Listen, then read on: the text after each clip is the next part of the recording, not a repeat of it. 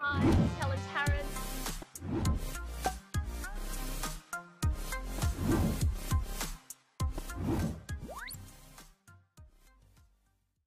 Welcome to another episode of Commercial Property Roadshow. This is Helen Tarrant. Now, today I want to cover with you commercial versus residential, but this is regarding the cost of getting into a property. Um, there's been lots of questions asked of me about how much it costs to get into a commercial versus a residential property. So, this explains a little bit of the cost. So, in commercial property, you're going to find the LVR or the loan to rate the valuation ratio is going to be lower than your traditional residential property. But there's no such thing as lender's mortgage insurance or LMI as they call it in residential space. So the main cost in commercial property is getting in is probably your deposit because it's going to be larger than your residential. It's going to be your valuation fees because you'll have to pay for that. Um, the bank don't cover the valuation fees. There's going to be some establishment fees for the loan itself and that's usually a percentage of the loan or depending on the loan product you get they may actually waive that for you as well depending on your loan type and uh, how long which bank it is and the specials and promotions they're doing.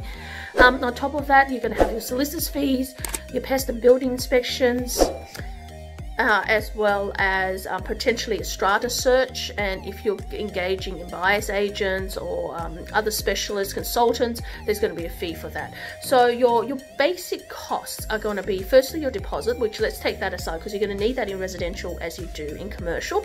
But your valuation fees can range anywhere from say around $1,100, $1,500, so $1,500 anywhere up to maybe about $4,000 depending on the size of property.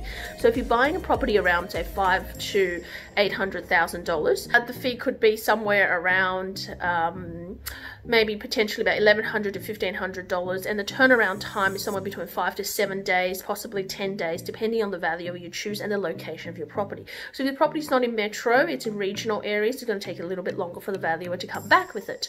Um, the establishment fee, it's usually a few thousand dollars. Usually it's a percentage. It might be um, half of 1% um, of your entire loan or a quarter of 1%. Or if you're getting um, a bigger loan, it might be something like 0.065% of a 1%. So it all depends on the bank, um, on whether they're waiving that fee, whether they're doing a promotion or not. So those are the major costs. Of course, solicitor's costs are somewhere around uh, your solicitor's cost is going to be uh, somewhere around maybe 2000 2500 including your um, disbursements. That depends on how hard the transaction is. So if the transaction requires multiple negotiations, so you've got a lease you have to negotiate, uh, you've got extensions, um, let's say that if finance takes a little bit longer, uh, let's say there's amendments to the contract, all of those things might might bring that cost up to more about four grand. But usually the benchmark is around two and a half thousand dollars in terms of um, the solicitor's fees. Now your additional pest and building, it's somewhere I like to budget around anywhere from five hundred dollars for a smaller property, anywhere up to fifteen hundred dollars for a slightly larger property.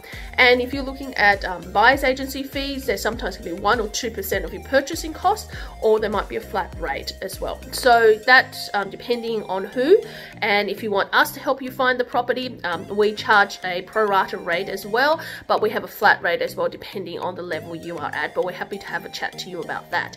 But that's essentially your commercial property costs. Now, going into the residential space, uh, what you have is the bank will absorb the valuation fee, so there's no valuation fee for you they will most likely not charge you an establishment fee in this current market.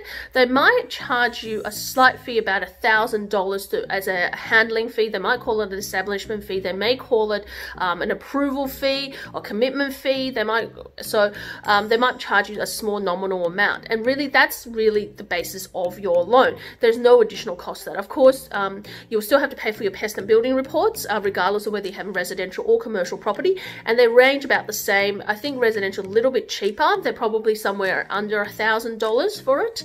Uh, but also, uh, if you're buying a strata property in commercial as well as in residential, you'll need a search agent for that, and that costs around three hundred and thirty dollars as well. Now, on top of that, if you have twenty percent deposit in residential, then uh, you are not going to need what they call LMI, which is a lender's mortgage insurance.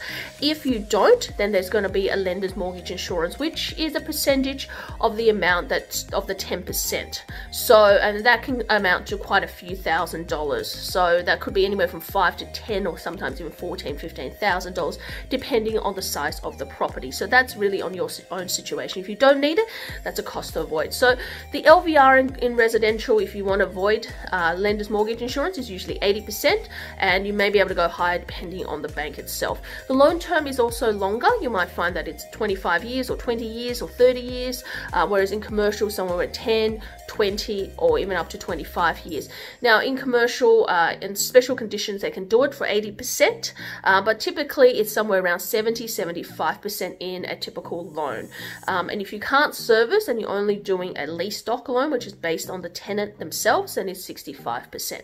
So those are the two costs. So you're going to get more costs in terms of commercial, but also remember that commercial gives you more cash flow as well at the end. So those costs are a cost that's tax deductible, uh, but over time, the cash flow you're going to come in in the first year of your commercial property is going to outweigh the cost you spend on it. So it's more expensive to get in, but it also means it gives you greater cash flow in the long run. In residential, it's a game you hold out for the back end, which means it is a capital gains game. So you wait for the capital growth to happen in, in the property. So which means that even though you're having less costs up front, uh, the little costs that you're going to fork out in the rest of the year, if you take the property and you compare it, what's going to cost you in the first year of the property, you'll find that potentially you'll be negative five or ten thousand dollars on a residential deal. So if you compare that uh, to commercial in the first year, you'll find that the cost actually even itself out and you actually get more cash flow out of the commercial property.